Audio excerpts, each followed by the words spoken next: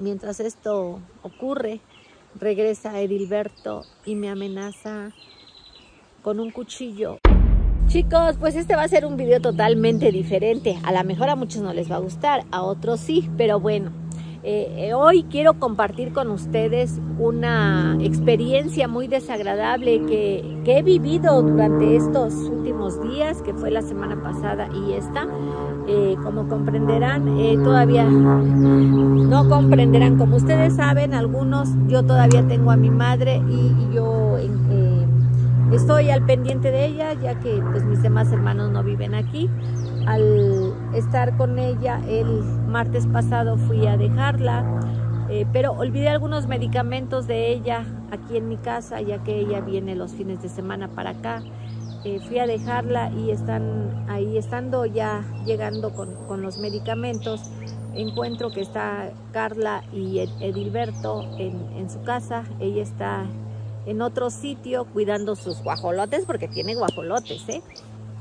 Eh, me empiezan a agredir estas personas, primero va verbalmente, posteriormente físicamente. Obviamente pues yo pido ayuda a, mi mamá y a la chica que la cuido, que pues obviamente no era, no era mucha la ayuda que me pudieran dar, como pude me escapé de ellos.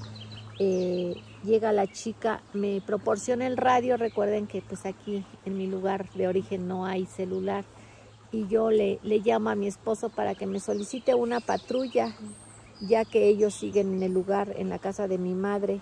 Eh, va mi esposo, eh, se va a, interceptar la patrulla por la parte de arriba.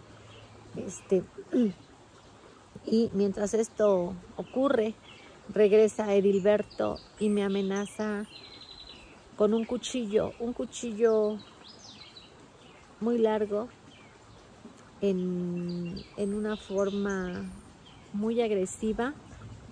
Mm, fue algo muy fuerte para mí, fue algo muy difícil, eh, estando mi mamá presente y estando la chica que la cuida, fue también para ellas, yo creo que fue pues muy traumática esta situación. Eh, cuando llega la patrulla, este tipo ya se, se va, se va a su casa, se encierra junto con, con Carla en su casa, se encierran en su, en su casa. Cabe aclarar que esta, estas personas son, son pareja.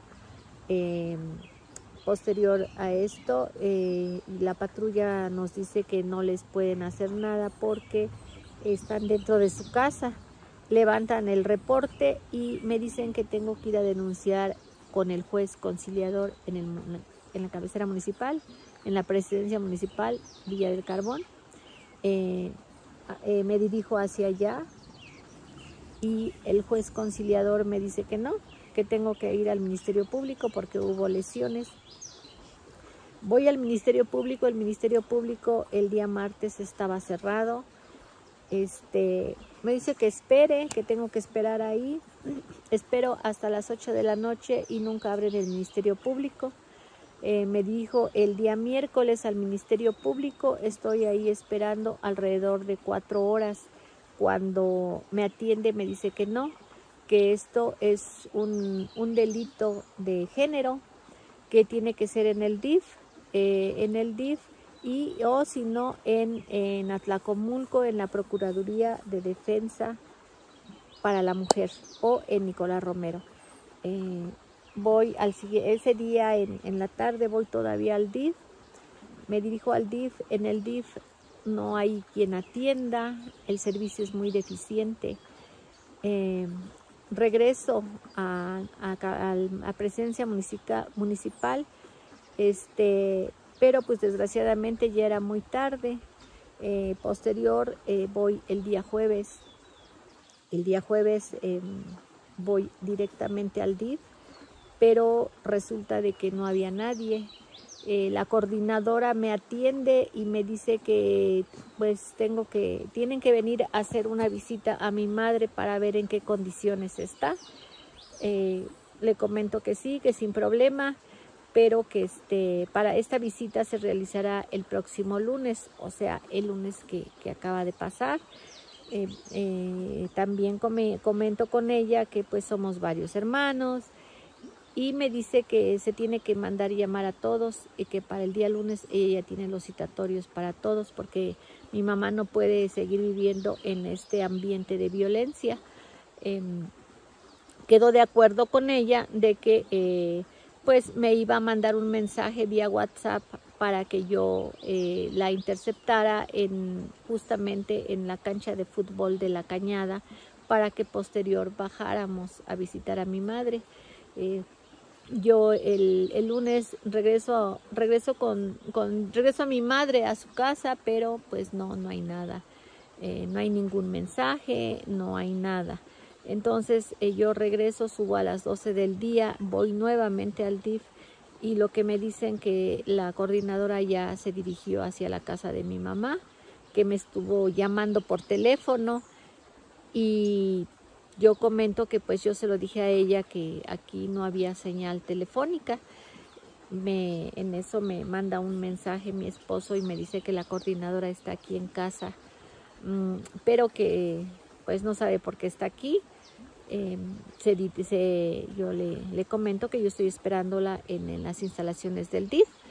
Regresando, que me pide que yo la espere que yo la espere en, el, en las instalaciones, yo le espero y le pregunto que, que, habíamos quedado, me, me, revierte la, la, información, me dice que no, no señora, este, yo le dije que le iba a marcar y, y bueno, eh, le pregunto que si ya están los citatorios, me comenta que, que pues no, que todavía no están, que porque la procuradora no estaba, eh, le comento que pues como es posible que pues ya tenía yo mucho tiempo ahí y, tuvo pues parte del todo el viernes y parte del jueves como para que hubieran hecho estos citatorios pues me dice que no que tenía mucho trabajo y que no estaban los citatorios.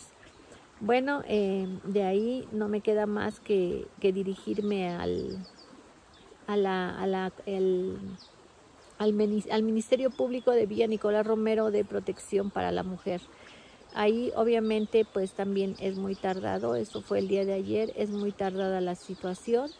Eh, me piden que yo escriba en una, en una hoja los sucesos de violencia con anterioridad que hubieran pasado, eh, los escribo y posterior me dicen que, que, no es violencia de género, que tengo que, tengo que ir al Ministerio Público de aquí de Villa del Carbón porque no es violencia de género que en todo caso eh, yo estoy propiciando esta violencia porque yo voy a la casa de mi madre.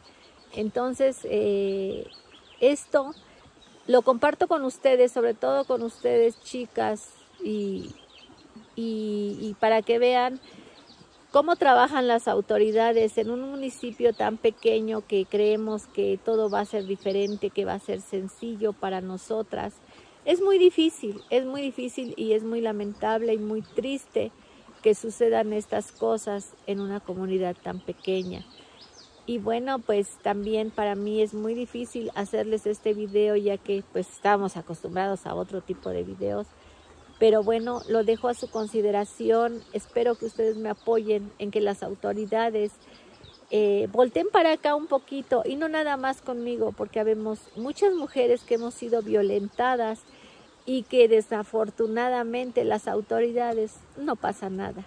También hago una atenta invitación a nuestro presidente Andy Correa. Le quiero pedir de favor que vaya a las instalaciones del DIF y que vea cómo trabajan esos servidores públicos que pues finalmente por algo están ahí, porque usted los eligió o porque ellos así lo quisieron pero creo yo que deben de poner más atención en esta institución ya que es muy muy importante para el bienestar de nosotras las mujeres o de los adultos mayores como también es mi caso. Bueno chicos, pues los dejo con esta reflexión. Este, hagamos algo, hagamos algo, nada más en este caso, por todos los casos que así están pasando hoy en día en México y en mi municipio de Villa del Carbón. Nos vemos chicos, hasta la próxima, que estén bien, les mando un beso.